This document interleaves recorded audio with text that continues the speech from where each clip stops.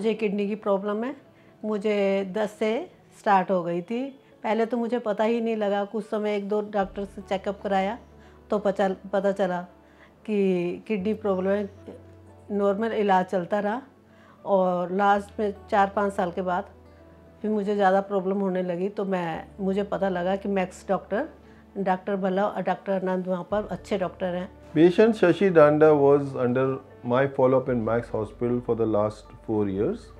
She was having progressive renal failure and around one and a half years back we had to put her onto dialysis. She was slightly elderly, around 60 years of age, was not doing well on dialysis. So we thought that we must offer her a renal transplantation. So the first option was to go for a live related, but unfortunately there was no compatible donor in her house. तो मेरे को doctor भला और doctor आनंद के पास, max house में जो है, उनके पास किसी ने भेजा। मैं वहाँ से डॉक्टर भला से कंसल्ट किया, उन्होंने कहा डायलिस होगा इनका। मैं तीन बार, पहले दो बार डायलिस होता था, फिर तीन बार डायलिस होता रहा। तो Shashi on dialysis was not doing well she was not tolerating dialysis she was having frequent low blood pressure she was persistently vomiting on dialysis And after the dialysis, it would take her two days to get back to her feet. Obviously, and she had lot of bony pains and itching. So she would come and meet me every 10 days in the OPD with problems of dialysis. उसके बाद 21 एक साल पूरा मेरा dialysis चलता रहा और बहुत प्रॉब्लम थी जिसके वजह से हॉस्पिटल से आके सारा दिन लेटी रहती ना खाना ना पीना कुछ नहीं और ट्वेंटी वन में जाकर मेरे को ऑपरेशन के लिए कहा गया They all came in the night and then we screened all of them and it is just to her luck. She turned out to be the most suitable candidate for the transplantation. We talked to the family, we talked to Shashi and without any hesitation I must say they were willing to go ahead for the transplantation.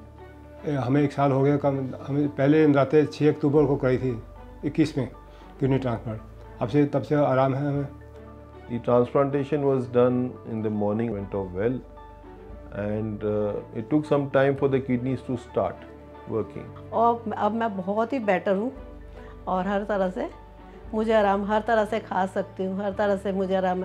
Doctor Bhalla और doctor अनंत ने मेरी बहुत help करी बहुत help करी।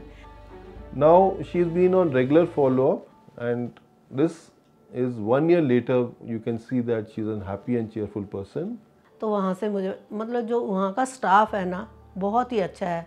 वहाँ के doctor वहाँ की nurses So that we can give you all a very healthy and happy life, and so that your life starts again and it's like a rebirth after the cadaver transplantation. And she's a perfect example of a person who faced problems managed them very well and happily she has managed to overcome them with the help of our medical and the renal transplant services at Max. Subscribe to our YouTube channel and press the bell icon to get the latest healthcare updates.